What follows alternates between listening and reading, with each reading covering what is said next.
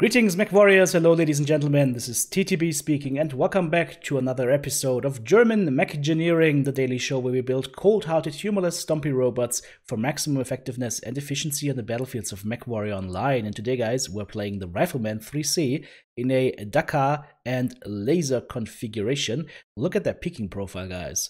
You only have to expose about, I would say, 30% of your mech to be able to shoot at enemies. Really, really nice profile altogether. Just be very wary of one thing, guys. When you're trying to shield with this mech, you're shielding mostly with your arm. So uh, if the arm is very damaged and the side torso is not, I would actually recommend you keep facing your target, um, but that is something that you will have to decide at a moment's notice. Alright, let's look into the build. It is very, very straightforward. XL Engine 260 as the basis, 70.2 kph speed, firepower of 21, but that of course is a little bit deceiving because these AC2s fire very, very quickly. Uh, to be exact, they fire almost every 0.5 seconds. 1.35 heat management, also a little bit deceiving. You can keep firing these AC2s basically forever. And um, what we do here with the ER small lasers is we have them for point defense. So if something gets a little bit too close to us, we use the ER smalls to amplify the damage. Uh, we've got four in total at 3.25 damage each. So that's an additional 13 damage that you can unleash if you wanted to bring somebody down or destroy a component if somebody is in range between uh, yeah, at about 200 to 400 meters. So keep that in mind. That is just a point defense damage weapon. It is not our main weapon. Our main weapons and the ones we want to keep safe are the AC2s. We've got 6 tons of ammo in the CT and the legs, and then 1 ton of ammo in the right arm. Um, the CT ammo is going to drain first, and then it would go into the right torso left torso, but since I don't want to have the ammo be in the torso where an explosion can instantly kill my mech, uh, we'll just have it in the arm here. It should be quite safe because the arm is a smaller target, but uh, you could also potentially um, just, just park it here in the head. Um, it will drain last, but um, yeah, headshot is, is not that likely. So we can just keep it in the head. All right, moving into the skills. Let's have a look what we built here. Well, full firepower tree. We took everything, including magazine capacity 1 and 2. I didn't take laser duration, guys, because um, our small lasers are just an emergency backup weapon it's it's not needed to take laser duration for that. Let's put these points rather into survival. So we have the full survival tree, which means that we will be very, very hard to kill for a mech our size because we've got full armor and full structure. And then we go into the auxiliary tree and we take uh, double artillery strike with enhanced spotting this time because I had one point over. I didn't know where to put it. So let's put it into a more accurate artillery strike. And that is basically the build for today, guys. It is just heavily invested into the firepower tree. You move to second line and you just shoot targets from range and amplify damage onto them. Let's go ahead, take this thing to the dropship and see how it performs. I'll see you there. Alright guys, here we are on the Frozen Colony Classic and, uh, no, Frozen Forest Colony Classic. Ah, that's a mouthful, isn't it?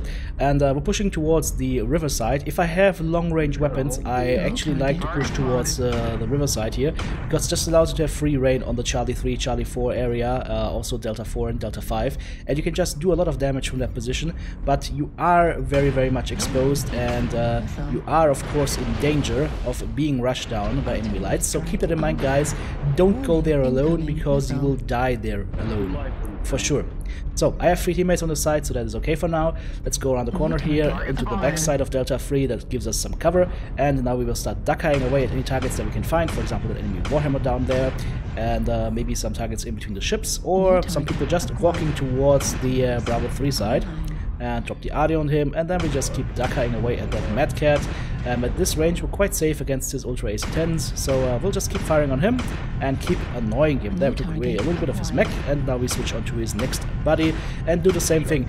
Guys, if you want to, you can of course drop a few points from the firepower tree and just go into sensors to get advanced zoom if you feel you need it. I feel most of the time I don't need it, so I don't bother specking it because it's just for other uh, points that I have to waste to get that. But um, it might be advisable for a map like this because it's notoriously hard to see on, on this mech in particular. Alright, going on on the Marauder 5M, we take away his arm and we do some good damage to his side torso. Then I'm trying to hit the uh, Griffin, I believe, over there. Could also be a Roughneck, I didn't target it so I can't say.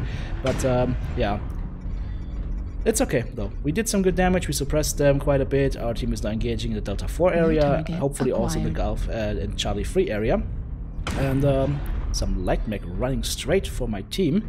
Um, getting completely ignored on the left side. Like it's a piranha, right, running through them. Nobody sees him, nobody shoots him. Alright, let's go in on Foxtrot, do a little bit more damage to him. I'm just waiting right now to see once the uh, enemy assaults show themselves again. And there's also the enemy up top on the mountain here. Let's go ahead and do some dakka damage onto him and try and suppress him. Now I see an enemy assault pushing in on the left side, and as soon as I can, I will orient myself over to that area and uh, do some damage onto him. But for now, let's fall back a little bit, getting too much fire into my face. Uh, a piranha coming in. Hopefully we deterred him from shooting us, and now we're going on the left side. And how about our teammate here, going in on the Mad Cat from before that we already softened up quite a bit, and uh, do some more damage to him, and just try and aim for a center torso or cockpit, and hopefully take him down before he kills my teammates. That's exactly what we do here. He falls. Beautiful.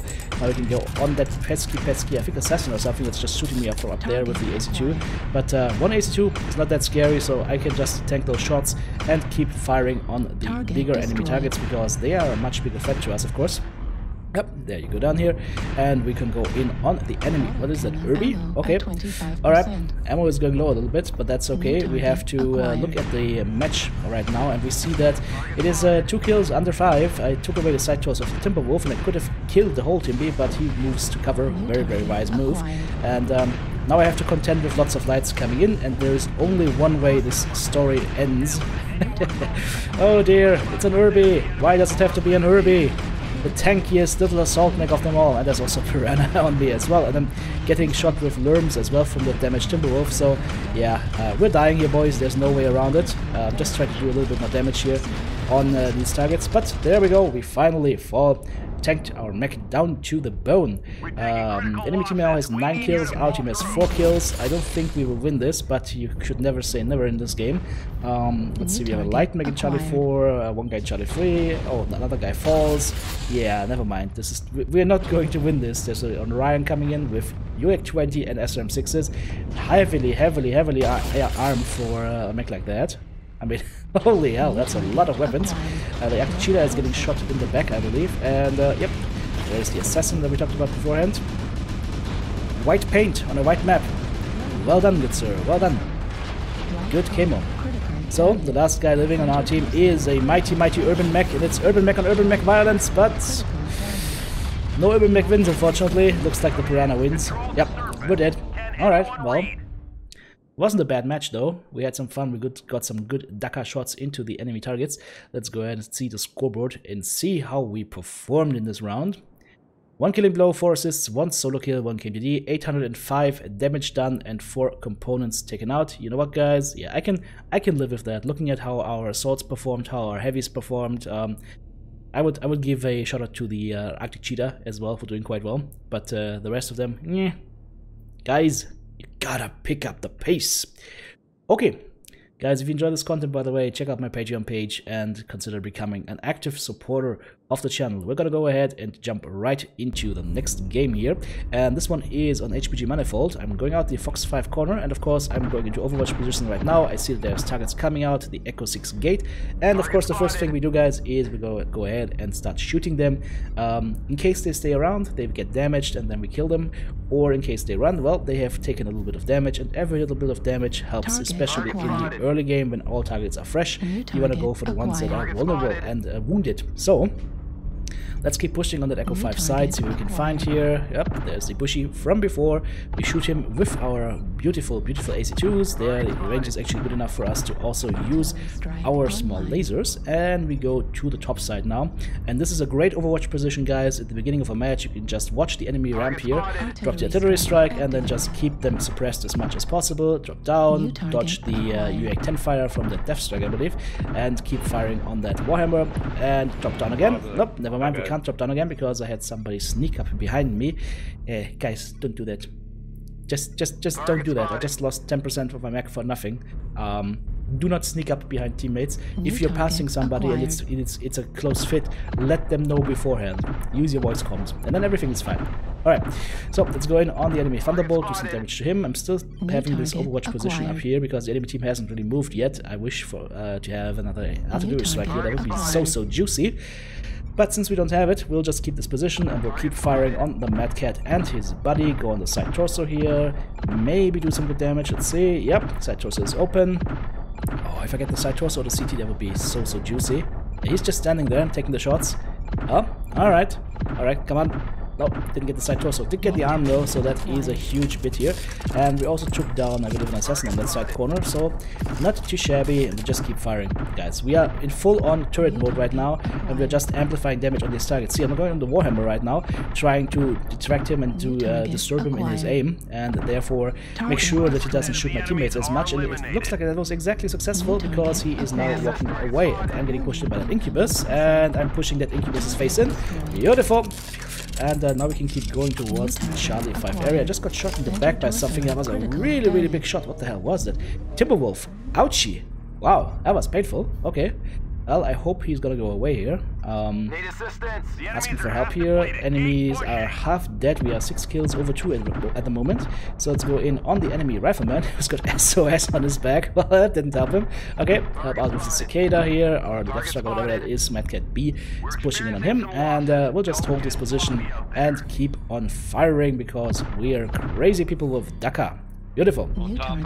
So the one guy down below with the Nova, I've got one guy up top, uh, two guys up top actually, and uh, I'm going to go back to my initial position, but um, I feel I'm forgetting something here.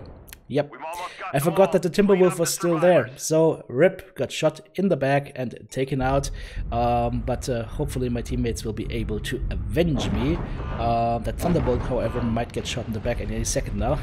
yeah, there we go. It's already starting. Uh, you might want to turn around, dude. Yeah, there's, there's, there's something behind you. New yeah, that acquired. something is behind you. Um, it's actually funny that he didn't shoot his SRMs. Uh, he might have been out of range, but can you imagine the SRMs plus the medium pulses in the back? Yeah, that would have been an instant kill, but it doesn't matter. Uh, teammate overheats, but uh, that Timberwolf is not long for this world because all of my teammates are now going in on him, and this should be an easy kill. Nice dark death build, streak sixes and lasers. Hmm, gotta try that. Well played, team. Well played. Final score 12 kills over 5. Guys, if you like this content, drop me a like, hit the subscribe button, and of course, check out my Patreon page. 2 killing blows, 8 assists, 3 kill modes damage dealt, 677 damage done, and 5 components taken out. Thanks for watching. Have a great day wherever you are on this planet. TTB out.